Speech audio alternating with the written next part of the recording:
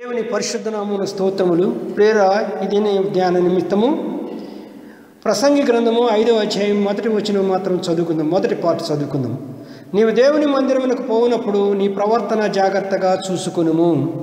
దేవుని మందిరానికి మనం వెళ్ళినప్పుడు మన ప్రవర్తన జాగ్రత్తగా చూసుకోవాలండి. ఎందుకంటే అక్కడ ఏమేమి గొప్పతనం ఉంటుందో మనం మాట్లాడుకుందాం. ప్రియరా ఆలోచించండి. సామెతల గ్రంథం ఎనిమిదో అధ్యాయము ముప్పై నాలుగో వచనంలో ఒక మాట ఉంది. ఏమంటే అనుదినము నా గడప యొద్ద కనిపెట్టుకుని నా ద్వారబంధముల యొద్ద కాసుకొని నా ఉపదేశమైన వాడు ధన్యుడు అనుంది దేవుని యొక్క ఉపదేశాన్ని వినాలి మనం. దేవుని సేవని యొక్క సేవకుని యొక్క ఉపదేశం వినాలి.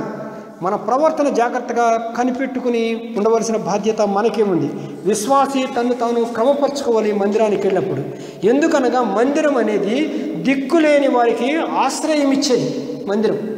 మందిరం అనేది దిక్కులేని వారికి ఆశ్రయం ఇచ్చేది. నిన్నెవరూ పట్టించుకోకుండా ఉండవచ్చు. నీకెవరో దిక్కులేరు అనుకోవచ్చు. కానీ నిన్ను నీకు ఆశ్రయం వచ్చేది మందిరం అని పెడుతుంది. రెండవదిగా మానవునికి విశ్రాంతి దొరికేది మందిరం. కృంగిన వారిని లేవనెత్తేది ఇబ్బందుల్లో ఉన్నవారిని ఇరుకుల్లో ఉన్నవారిని మానసికంగాని శారీరకంగా ఇబ్బందుల్లో ఉన్న వారికి మానవునికి అనగా విశ్రాంతి దొరికేది మందిరం అన్నమాట. తర్వాత దేవునికిని మానవునికిని కనెక్షన్ దొరికేది కూడా మందిరమే.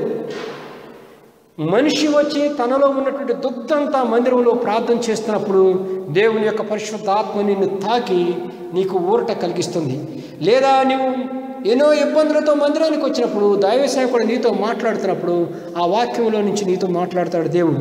అందుకనే మందిరం అనేది మానవునికిని మన్ దేవునికి కనెక్షన్ దొరికేది మందిరం అని దేవుని వాక్యం మనతో మాట్లాడుతుంది. తర్వాత చూస్తే దేవునికి ప్రత్యక్షత దొరికే స్థలము మందిరం. పరిశుద్ధాత్మ చేత అభిషేకించబడేది మందిరం. మరి కూడి ప్రార్థన చేస్తూ ఉండగా ఆకాశం నుండి అగ్ని దిగి వచ్చింది. మరి కూడి ప్రార్థన చేస్తూ ఉండగా భూమి కంపించింది అనుకుంది అనగా ఆత్మాభిషేకం దొరికేది మందిరం దేవుని ప్రత్యక్షత దొరికేది కూడా మందిరం అని చెప్తుంది. తర్వాత దేవుని వాగ్దానం దొరికే స్థలము దేవుడు నీకు వాగ్దానం చేస్తాడు. దైవజనుడు ప్రసంగిస్తూ ఉండగా ఆ వా ప్రసంగంలో నుంచి చెప్పే వాక్యంలో నుంచి నీకేదైనా వాగ్దానం దొరకవచ్చు దేవుడు నీకు వాగ్దానం ఇవ్వచ్చు. ఆ వాగ్దానం ద్వారా నువ్వు బ్రతికే అవకాశం ఉంటుంది కనుక జాగ్రత్తగా దేవుని వాక్యం చెప్పేటప్పుడు జాగ్రత్తగా వినాలని దేవుని పక్షంగా మీకు విజ్ఞాపన చేస్తున్నాను.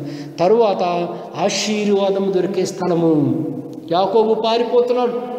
ఇటు అన్న భయము ఎక్కడికి వెళ్ళాలో తెలియదు రాత్రికాల సమయంలో తలగడ పెట్టుకుని తలగడ కింద ఒక రాయి పెట్టుకుని పడుకుంటే దేవుని యొక్క ప్రత్యక్షత ఇచ్చాడు. అప్పుడు దేవుడు చెప్తున్నాడు నేను నీతో చెప్పినది నెరవేర్చే వరకు నేను విడువను ఎడబాయనని చెప్పి అబ్రహాంకు సంబంధించిన ఆశీర్వాదాలని కుమ్మరిచ్చినట్లుగా చూస్తున్నాం.